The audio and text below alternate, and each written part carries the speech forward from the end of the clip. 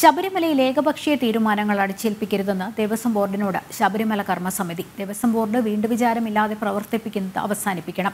ദേവസ്വം ബോർഡിന്റെ അടിച്ചേൽപ്പിക്കലുകൾ ചർച്ച ചെയ്യാൻ യോഗം ചേരും. നവംബർ ഒൻപതിന് ചെങ്ങന്നൂരിലാണ് ഭക്തജന സംഘടനകളുടെ യോഗം ചേരുക.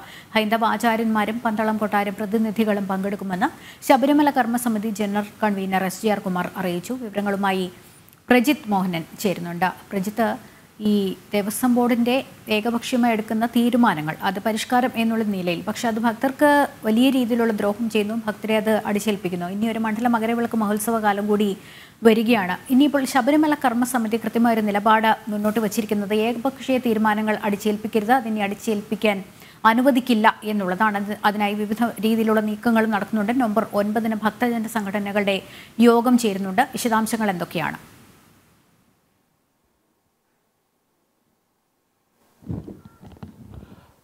ലക്ഷ്മി ശബരിമല തീർത്ഥാടനവുമായി ബന്ധപ്പെട്ട് കഴിഞ്ഞ തീർത്ഥാടന കാലത്ത് തന്നെ വലിയ പ്രശ്നങ്ങൾ ഉണ്ടായിരുന്നതാണ്. അതുമായി ബന്ധപ്പെട്ട് നിരവധി വാർത്തകൾ നമ്മൾ നൽകിയതാണ്. പ്രത്യേകിച്ച് മുന്നൊരുക്കങ്ങളിലെ പാളിച്ച ഭക്തരെ നിയന്ത്രിക്കാൻ ആവശ്യത്തിന് പോലീസുകാരില്ലാത്ത പ്രശ്നം അങ്ങനെ ഒട്ടനവധി പ്രശ്നങ്ങൾ നിലനിരുന്ന ഒരു തീർത്ഥാടന കാലമാണ് കഴിഞ്ഞ തവണ കടന്നുപോയത്.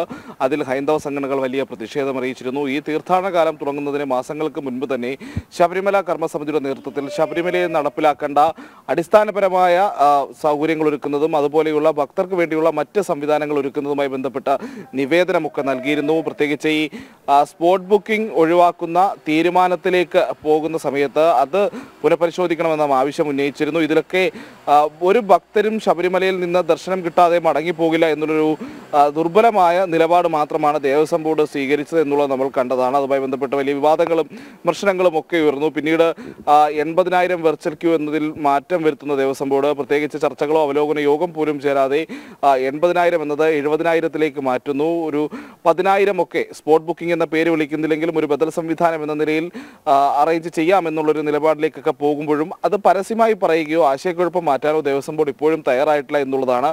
എന്താണ് ആ ബദൽ സംവിധാനം സ്പോട്ട് ബുക്കിംഗ് ഒഴിവാക്കുമ്പോൾ എന്ന കാര്യത്തിൽ ഒരു വ്യക്തത വരുത്തിയിട്ടില്ല. അതോടൊപ്പം തന്നെയാണ് ഈ മണ്ഡല പൂജയ്ക്ക് തൊട്ടു മുമ്പ് നടന്ന തുലാമാസ പൂജ പൂജകളിൽ ശബരിമലയിൽ ഉണ്ടായത് വലിയ വീഴ്ചകൾ എന്ന് തന്നെ വ്യക്തമായിരുന്നു. പ്രത്യേകിച്ച് ഭക്തർ എത്തുന്ന സമയത്ത് അവിടെ കുടിവെള്ളവും ലഘുഭക്ഷണവും പോലും ലഭ്യമാകാത്ത സാഹചര്യം. കൂടുതൽ ഭക്തർ എത്തിയപ്പോൾ തിരക്ക് നിയന്ത്രിക്കാൻ ആവശ്യത്തിന് പോലീസുകാരില്ലാത്തൊരു സാഹചര്യം.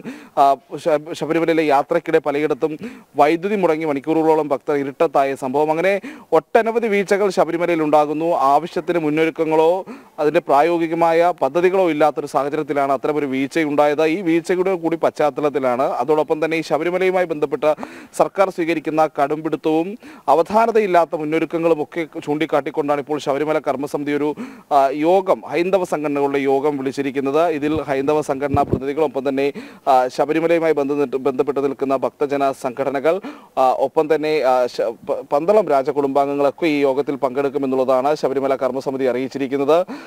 എന്താണ് ശബരിമലയുമായി ബന്ധപ്പെട്ട് ഹൈന്ദവ സംഘടനകളുടെയും വിശ്വാസികളുടെയും ഭക്തജനങ്ങളുടെയും ഒരു നിലപാട് എന്നതിൽ കൂടി അല്ലെങ്കിൽ നിലവിലത്തെ സാഹചര്യത്തിൽ തീർത്ഥാടനം സുഗമമായി ഭക്തർക്ക് മുന്നോട്ട് പോകാൻ കഴിയുന്ന ഒരു സാഹചര്യം സൃഷ്ടിക്കാൻ എന്തൊക്കെ ചെയ്യണം എന്നുള്ളത് ഈ കൂട്ടത്തിൽ കൂടിയാലോചന ചെയ്യ ചെയ്യും കൂടിയാലോചന ഉണ്ടാകും. അതോടൊപ്പം തന്നെ നമുക്കിപ്പോൾ വ്യക്തമല്ലെങ്കിലും ഏതെങ്കിലും രീതിയിലുള്ള പ്രതിഷേധങ്ങളിലേക്ക് ഹൈന്ദവ സംഘടനകൾ പോകുമോ എന്നുള്ളതും കാത്തിരുന്ന് കാണേണ്ടതാണ്. കാരണം ശബരിമലയിൽ സ്വീകരിക്കുന്നത് ഒരു ബോധപൂർവമായ ഒരു അലംഭാവമാണെന്ന് പൊതുവിൽ ഭക്തർക്കിടയിൽ ഒരു ബോധ്യപ്പെടുന്ന ഒരു സാഹചര്യം ഉണ്ടായിട്ടുണ്ട്. പ്രത്യേകിച്ച് മുഖ്യമന്ത്രിയുടെ അധ്യക്ഷതയിൽ ചേർന്ന അവലോകന യോഗത്തിൽ സ്പോട്ട് ബുക്കിംഗ് ഒഴിവാക്കാൻ തീരുമാനമെടുക്കുന്നു. പിന്നീട് അത് തിരുത്തപ്പെടുമെന്ന് മുഖ്യ പാർട്ടിയും ദേവസ്വം ബോർഡും ഒക്കെ പറയും മുഖ്യമന്ത്രിയും ഒക്കെ പറയപ്പെടുന്നുണ്ടെങ്കിലും എന്താണ് അതിന്റെ ഒരു വ്യക്തത എന്നുള്ള കാര്യത്തിൽ നമുക്ക് ഇപ്പോഴും ഒരു ക്ലാരിറ്റി അല്ലെങ്കിൽ ഒരു വ്യക്തത നൽകാൻ തന്നെ സർക്കാരിന് കഴിഞ്ഞിട്ടില്ല അല്ലെങ്കിൽ ദേവസ്വം ബോർഡിന് കഴിഞ്ഞിട്ടില്ല എന്നുള്ളതാണ്.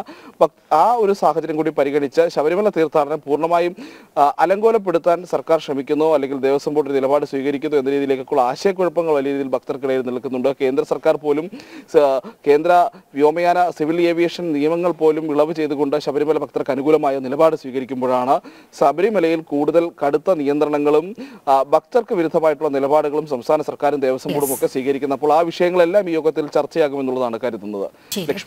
വിവരങ്ങൾ നൽകിയത്.